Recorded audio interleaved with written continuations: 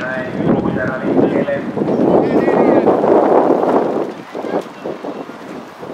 Ja tiukasti lähdetään. Laura Keppanen otti ulkoa siellä kovinen.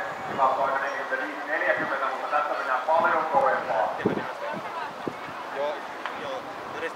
Hienosti myös tullaan sieltä radalta neljä Riikka Mikkonen vastaana Urlusien. Tällä hetkellä kakkosena johdolla loppusuoralle komealla askeleella tulee Lapin tyttö sieltä ylivoimaisen erävoittoon.